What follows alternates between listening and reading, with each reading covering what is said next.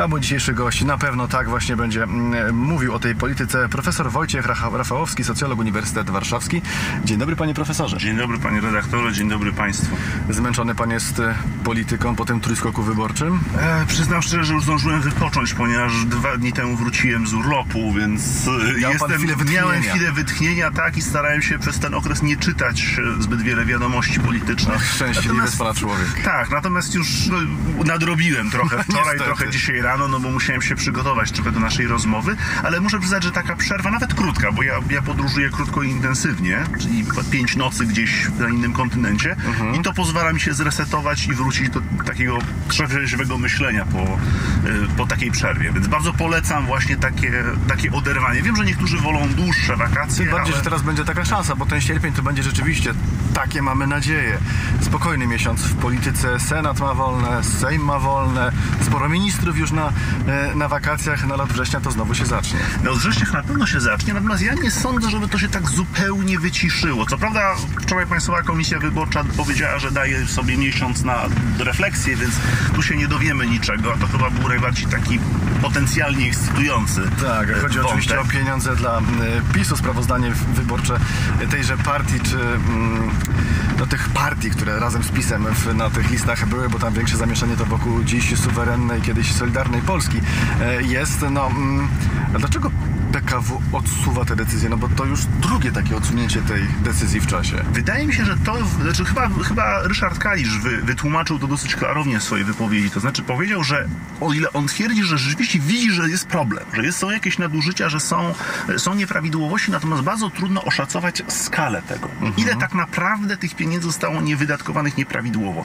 I ja sądzę, że no, po to, żeby decyzja się potem utrzymała, miała szansę utrzymać jakiejś weryfikacji sądowej, no to trzeba to bardzo dokładnie udokumentować. Więc ja z tego powodu nie mam dużych pretensji do PKW, bo oczywiście wszyscy chcemy mieć rozstrzygnięcie, żeby już teraz, ale wiemy, że taki szeryfowski styl uprawiania wymiaru sprawiedliwości to nie jest dobre rozwiązanie, bo to się potem może gdzieś tam nie utrzymać w apelacjach i odwołaniach, więc lepiej jednak przebadać.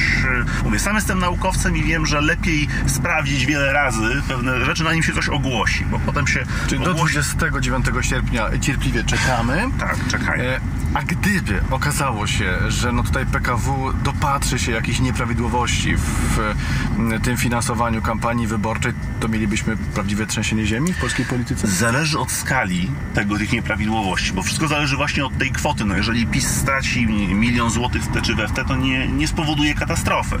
E, Zresztą wiemy, że nawet jeżeli partia straci duże pieniądze, jak wiemy kiedyś Polskie Stronnictwo Ludowe w 2001 roku, jeżeli dobrze pamiętam, straciło duże pieniądze, to przetrwało. O tym z kolei sprzedało swoją siedzibę. tak, i to jest sprawa ciekawa, bo, bo Waldemar Pawlak e, w niedawnym wywiadzie mówił właśnie, że partia nie, nie, to nie jest, oczywiście to jest problem dla partii, ale to nie jest tak, że partia upada, ponieważ jej odebrano finansowanie.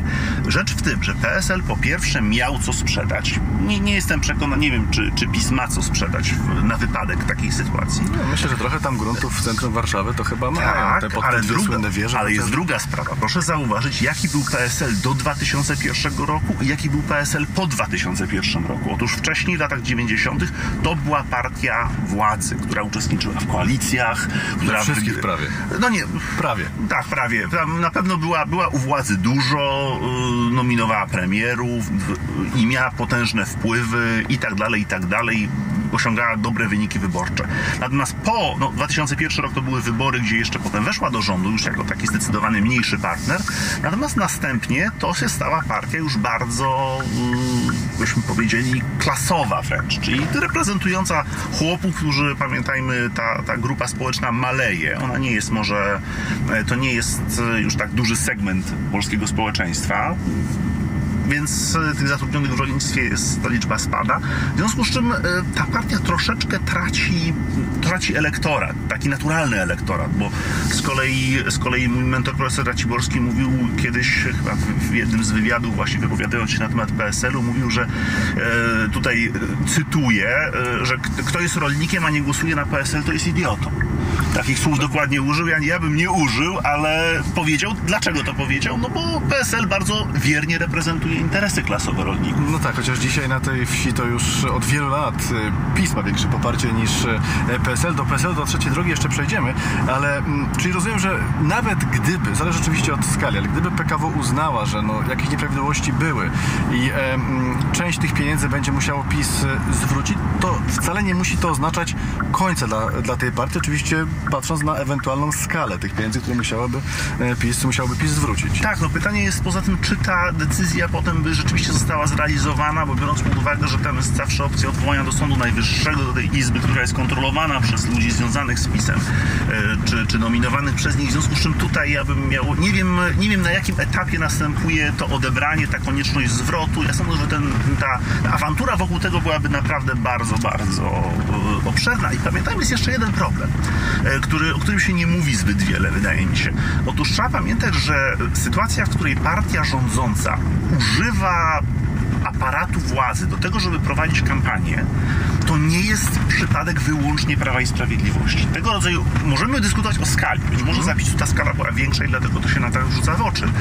Natomiast co do zasady, przewaga inkumbenta, bo to się tak nazywa, inkumbent, czyli ten polityk, który ubiega się o reelekcję, mówi się też, że partia inkumbenta i tak dalej, ona używa tego rodzaju instrumentów. W Warszawie też mieliśmy w pewnym momencie, że Rafał Trzaskowski zrobił kampanię informującą o osiągnięciach swojej prezydentury. Tak. I to, a to było przypadkowo w, oko, w okolicach wyborów parlamentarnych. Ale też przypadkowo tutaj niedaleko nas ta słynna kładka e, tak. przez Wisłę też była otwierana no, na ostatniej prostej kampanii wyborczej tej samorządowej, no ale to jest, tak też mówi część politologów, no to jest przywilej tych, którzy są akurat tak, u władzy. Dlatego, no. dlatego Premier ja nie... zawsze będzie bardziej eksponowany niż lider opozycji, to samo prezydent czy też włodarze miast. Dlatego to jest taka cienka linia, której bardzo nie wiadomo, gdzie ona właściwie jest. Takim przypadkiem ekstremalnym to w historii zawsze była Japonia. W Japonii były zawsze najdroższe kampanie wyborcze na świecie. E, ten, to było wynikało z systemu wyborczego, który tam obowiązywał, z tego, że tam się klientelizm rozwijał, więc tej, tej tak zwanej kiełbasy wyborczej było bardzo, bardzo dużo. Ale zostając jeszcze przy PiSie e, i przy problemach. Za moment przejdziemy do problemów koalicji 15 października, bo tam też ich e, nie brakuje. Pana nie było w Polsce, ale może pan słyszał o tym, co działo się w Krakowie przy okazji walki o szefostwo e, struktur miejskich tejże partii. Tam był nominat Beaty Szydło no i ten nominat Beaty Szydło e, stracił stanowisko na rzecz Barbary Nowak, byłej już kurator oświaty, dość kontrowersyjnej postaci. Mm, no tyle tylko, że tutaj nie o te dwie osoby chodzi. Chodzi o rywalizację zupełnie inną. Beata Szydło, jak mówiłem, to jej nominat stracił stanowisko, a e, tym mm, nowym szefem struktur partii jest no kto? No Barbara Nowak, która jest bardzo blisko Ryszarda Terleckiego. Tak, słyszę, Terlecki, słyszeliśmy, słyszeliśmy ich maile. Więc tak, tak, no właśnie. Terlecki Szydło, ta rywalizacja 3. Teraz y, po y, tym czasie, kiedy PiS straciło władzę, kiedy jest w e, opozycji, takich właśnie wojenek, bo wcześniej tego nie widzieliśmy tak mhm. oficjalnie. Takich wojenek będzie więcej, no bo wiemy, że w PiSie, jak w każdej partii, jest bardzo wiele frakcji, które, no mówiąc delikatnie, nie pałają do siebie miłością. Tak, no ta rywalizacja się y, występuje i faktycznie w momencie, kiedy już partia nie jest u władzy, nie ma tych zasobów, którymi można zarządzać, które jednoczą y, nasz, nasze, nasze interesy, no to wtedy zaczynamy pruć swoje, prać swoje brudy. E, w przypadku Małopolski to jest specyficzna sytuacja, bo partia z jednej strony w skali kraju już nie rządzi, ale w Małopolsce jednak rządzi, bo udało jej się wybra wybrać swojego w ogromnych bólach, marszałka. Tak. tak, było to bardzo... interwencjach prezydenta Kaczyńskiego, co też się nie zdarzało. Interwencja, no właśnie, to jest który tam przyjechał, rozmawiał, później telefonicznie niejednokrotnie łączył się e, z radnymi e, w Małopolsce, przekonywał ich. Oni mówili w rozmowie z prezesem tak, prezes wyjeżdżał, prezes się rozłączał, dochodziło do głosowania, było zupełnie inaczej. Tak, no to, to była niesłychana historia, muszę przyznać. E, podobno wynikało to głównie z jakiegoś bardzo nieprzyjemnego charakteru kandydata, którego lansował e, prezes Kaczyński. Pan Kmita, tak. Tak, tak, że mówiło się, mówiło się, że to wynikało z tego, że oni się po prostu osobiście nie lubią, tam są jakieś osobowościowe niuanse z tego rodzaju, więc... E, ale idąc teraz dwa, trzy kroki do przodu. Przed nami wybory prezydenckie, tutaj raczej żadnych wielkich trzęsień ziemi w żadnej partii przed wyborami prezydenckimi pewnie nie będzie. Ale myśli pan, że PiS, taki jak znamy go od bodajże chyba 23 lat, e, to to już się kończy, w sensie nowy etap przed tą partią. To już może nie być zjednoczona szeroko prawica, ale to może być partia mniejsza Mateusza Morawieckiego, partia, nie wiem, Beaty Szydło, y, osobna partia ludzi z suwerennej Polski, a Jarosław Kaczyński, który traci nad tym wszystkim kontrolę, już będzie zmuszony odejść z polskiej polityki. To możliwy scenariusz? Czy ja myślę, że taką, te, tego rodzaju narracja to mieliśmy już w 2007 roku. No właśnie, ona się przegrał powtarza, wybory i tak. to się nie powtórzyło. PiS wrócił w pełni chwały w 2015 roku, potem ponownie wygrał wybory, więc ja myślę, że wiele zależy od tego, czy Prawo i Sprawiedliwość znajdzie sobie nową, nowy komunikat, który trafi do grup szerszych niż tylko własny elektorat, bo własny elektorat Prawa i Sprawiedliwości, tak jak zawsze mówi e, profesor Henryk Domański, ma tendencję do tego, żeby się kurczyć. Ponieważ e, coraz to młodsze roczniki, które się oczywiście starzeją, ale te młodsze roczniki są sekularyzowane, bardziej liberalne obyczajowo, Albo ci młodzi, którzy mają poglądy konserwatywne, prawicowe, to pokazują wszystkie badania, wybierają chętniej yy, Konfederację. konfederację. Tak, tak. Więc, więc PiS takie, z przyczyn takich czysto strukturalnych traci elektorat, ale pytanie jest, czy jest w stanie znaleźć nowy segment, w który, się, który, który będzie szedł. Widzimy, w 15 roku to się doskonale udało. Udało się skorzystać na, na tym kryzysie uchodźczym, który się wtedy, e, wtedy rozkręcił. Udało się wykorzystać ewidentne błędy y, okresu rządów Platformy i PSL-u, y, pewne zapomnienie o, o, rozmaitych sprawach. No przecież prawda, wypowiedzi Bronisława Komorowskiego z kampanii prezydenckiej bezpośrednio poprzedzającej, no one były absolutnie katastrofalne. E, Więc e, Ale i- pamiętamy też, że wtedy ten marsz po władzę PiSu i ta dobra pasa PiSu rozpoczęła się od tego, co e, no, ważni ludzie w PiSie wiedzieli to już podobno od września, ale my dowiedzieliśmy się 11 listopada e, roku 2014, czyli Andrzej Duda, kandydat na prezydenta. Czy teraz ogłoszenie tego nowego kandydata na prezydenta z ramienia e, PiSu to też może być nowe otwarcie w historii? I jak najbardziej to będzie nowe otwarcie, niezależnie, niezależnie kto będzie. Nawet jeżeli zostanie nim Mateusz Morawiecki, to, to będzie to nowe otwarcie, bo to wyniesie Morawieckiego znowu na nową, świeżą pozycję. Pokaże oczywiście, jaki jest kierunek i pokaże, jaki jest stan walki frakcyjnej według, e, wewnątrz tej partii. Więc dlatego to niezależnie kto to będzie, to będzie ważne, ważne wydarzenie. E, Ja podejrzewam, znaczy pewnie spodziewam się raczej wystawie, próby wystawienia Andrzeja Dudy 2.0. E, Czyli nie wiemy jeszcze, kto to będzie, czy to będzie prezydent Stalowej Woli, czy to będzie inny z, człowiek z drugiego szeregu. E, Tutaj e, wydaje mi się, że prawdopodobnie Kasper Płażyński byłby taki najbardziej, naj, miałby największe szanse, żeby trafić do tego centrowego Chociaż podobno nie ma dobrych notowań u wielu ważnych ludzi e, w PiSie, bo jak no, słyszałem od paru z ważnych właśnie polityków Zje- Zjednoczonej Prawicy, Kacper gra głównie na siebie, a my tego nie lubimy na Nowogrodzkiej.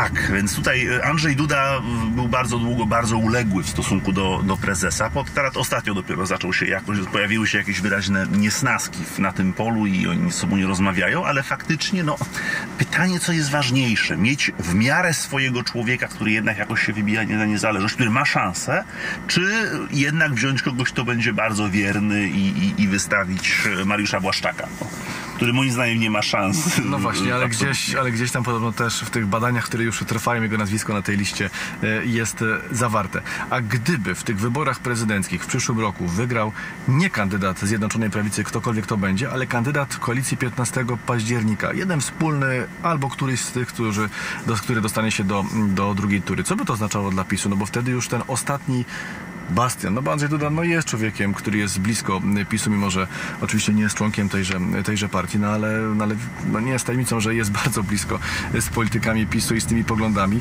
No to wtedy, gdyby był prezydent o liberalniejszych poglądach, e, Sejm, Senat, wszystko w rękach e, koalicji 15 października, no to PiS nie miałoby już wtedy wpływu tak naprawdę na nic. No, tak samo jak e, Platforma Obywatelska nie miała wpływu na nic w latach 2015-2023. No, taka jest rola być, bycia w długo to opozycji. trwało wtedy. To trwało długo. Nie, ma, nie będziemy przesądzać, ile czasu będzie- może to trwać. Tam się akurat zbiegły wybory prezydenckie i parlamentarne. e, Dopiero więc- musiał wrócić Donald Tusk, żeby wróciła do władzy koalicja obywatelska. Tak, pokazuje to próby słabość tej partii, no bo Tak. skoro bez lidera nie jest w stanie No sobie właśnie. poradzić, to... Była Ewa to, Kopacz, y, no gdzieś tam jeszcze Grzegorz Schetyna po drodze się y, pojawiał, był Borys Budka, no nikt nie dał rady, dopiero Tusk musiał wrócić na tym mitycznym białym koniu, no i, I się wygrał udało, wybory, i tak. się udało rzeczywiście. No i jego myśli- doświadczenie polityczne na pewno tutaj miało duże znaczenie. A myśli pan, że y, Tusk to jest ta osoba, która mogłaby być wspólnym kandydatem całej koalicji 15 października? No bo i takie głosy gdzieś się pojawiają, że Szymon Hołownia, który no, patrząc na wszystkie sondaże, m, tych szans na prezydenturę w tym momencie zbyt dużych nie ma, o czym oczywiście wiadomo, że, że marzy. E, No trudno byłoby poprzeć e, pewnie Hołowni Trzaskowskiego, który jest tu w tym momencie jeszcze jego głównym rywalem z tej koalicji 15 października, ale gdyby Donald Tusk jednak zdecydował się kandy- na kandydowanie, a podobno wciąż z tyłu głowy taki pomysł ma, to myśli pan, że to jest kandydat, który mógłby być wspierany przez całą koalicję 15 października? Czy dobry polityk powinien rozważać wszystkie scenariusze, więc ja nie mam za złe Tuskowi, że, że rozważa tego rodzaju opcje. Natomiast wydaje mi się, że po pierwsze, że są dwie przyczyny, dla których to się, to się nie wydarzy. Po pierwsze, Tusk jest człowiekiem czynu. Natomiast bycie prezydentem to jest reprezentowanie, to jest godne zachowanie, to jest pokazywanie się jako figura jednocząca. On jest jednak politykiem kontrowersyjnym. To widać w sondażach zaufania. Tusk poprawia. To zaufanie do Tuska rośnie w ostatnich tygodniach, ale jednocześnie dalej ma dużo osób, którym mu nie ufa. I to nie jest, to nie jest dobry prognostyk. Więc to jest jeden, to jest jeden czynnik. Natomiast e, moim zdaniem z takich przyczyn czysto, nazwałbym strukturalnych, nie bardzo się opłaca tej koalicji 15 października, czy jak inni mówią 13 grudnia, wystawianie jednego kandydata. Znaczy, mówię o, składy, o tych częściach składowych. E, To znaczy... mm, e, Partie potrzebują udziału w kampanii prezydenckiej Żeby istnieć. żeby, żeby być widocznymi, żeby głosić swoje tezy. W związku z czym wyobrażam sobie, że każda z tych partii wystawi jakąś, e, jakąś osobę w tych wyborach. Wiadomo, że dla niektórych partii to jest pewien problem. To znaczy, jeżeli ugrupowanie uzyskuje, jeżeli kandydat w wyborach prezydenckich uzyskuje 2% później, tak jak Robert Biedroń w, w 2020 roku, Albo Władysław Kosiniak-Kamysz też z fatalnym wynikiem w tych wyborach prezydenckich. No mówiło się, że on jest tym człowiekiem, który może wygrać z Andrzejem Dudą, wtedy kiedy jeszcze Kidawa Błońska była kandydatką Platformy. Później ta zamiana została e, dokonana. No i Kosiniak skończył z takim wynikiem, który traumą dla niego jest do dziś. Tak, więc to jest, to jest pewien problem. Ja sądzę, że, że w związku z czym będą, ale ta pokusa wysprawdzenia się e, na tym polu wyborów prezydenckich i zbudowania jednak indywidualnej popularności, bo pamiętajmy, te ci przegrani stają się jednak e, ważnymi, mają dużą widoczność. Przez tych parę miesięcy cała formacja gra na tę jedną twarz. Tak, więc jeżeli sobie wyobrażamy, że na przykład Lewica wystawiłaby albo y, Magdalenę Biejat, albo Agnieszkę Dziemianowicz-Bąk, bo to mi się wydaje te najbardziej prawdopodobne kandydatury, to w obu przypadkach mamy polityczki, które mogą potem jeszcze bardziej wylansować swoje nazwisko. Oczywiście, jeżeli uzyskają marny wi- wynik, to trochę to będzie kiepsko. Bo problem jest między Lewicą a KO jest tak, że, że wyborcy Lewicy nie są specjalnie wierni. Znaczy mówią, no machną ręką, prawda? Po co nam, nie będziemy głosować na tego Biedronia, jak i tak będzie druga tura i trzeba będzie głosować na Trzaskowskiego, to lepiej od razu na Trzaskowskiego. I taka logika się, się pojawia, e, co, co oczywiście uderza w lewicę, no ale między lewicą a platformą to jest ten problem, że lewica wprowadza nowy temat na, na arenę dyskusji politycznej, A Platforma go konsumuje. a Platforma go konsumuje. Co więcej, póki lewica go głosi, to mamy do czynienia z jakimś tam marginalnym, nieco ekscentrycznym tematem. A gdy głosi go Platforma czy Koalicja Obywatelska, a to mamy wtedy poważny, nowoczesny postulat. Tak, to prawda. e, więc to jest też, no, widać też, jak się to jakaś taka, taka rama interpretacyjna się pojawia wokół, wokół każdego z tych To tematów. jeszcze, panie profesorze, muszę na koniec zapytać, bo już mówiliśmy o Zjednoczonej Prawicy, mówiliśmy o Koalicji Obywatelskiej, mówiliśmy o Lewicy, trochę Konfederację e, dotknęliśmy, a jeszcze e, trzecia droga, bo o samym PSL-u mówiliśmy, mm, no ale mówiliśmy przed momentem o tym, że w tej Zjednoczonej Prawicy to są elementy, które e, no, nie są spójne dla całego tego środowiska. No, patrząc na trzecią drogę, z jednej strony PSL, z drugiej strony Polska 2050, przed naszą częścią mobilną w rano raport Dominika Długosz z panem posłem Suchoniem, bardzo ważna postać w Polsce 2050 rozmawiała, no i pan poseł jednoznacznie krytykował niektóre pomysły y, PSL-u. No oni nawet kandydując do Europarlamentu z jednej listy, w Europarlamencie są w dwóch różnych frakcjach, które mają bardzo różne podejście do wielu kwestii. Trzecia droga przetrwa pana zdanie? Znaczy, Trzecia droga była koalicją przedwyborczą i naturą takich koalicji jest to, że albo przekształcają się w partie, albo zanikają. I moim zdaniem ona nie ma w tej chwili racji bytu, poza tym, że ewentualnie mogłaby stanowić platformę poparcia dla Hołowni jako jednego kandydata trzeciej drogi. I to jest, i moim zdaniem, tylko dlatego... Wtedy tak- Kośniak nie musiałby kandydować, i, czego nie chce. Tak, i wtedy mógłby, m- można by uni- z twarzą wyjść z tego, że PSL nie, nie wystawia kandydata, co powód, no, co załatwia pewien problem. I wydaje mi się, tylko dlatego jeszcze mówimy o trzeciej drodze, bo w przeciwnym przypadku ona już nie jest do niczego potrzebna. Kolejne wybory parlamentarne są odległe, a wtedy konfiguracja pewnie będzie już zupełnie inna.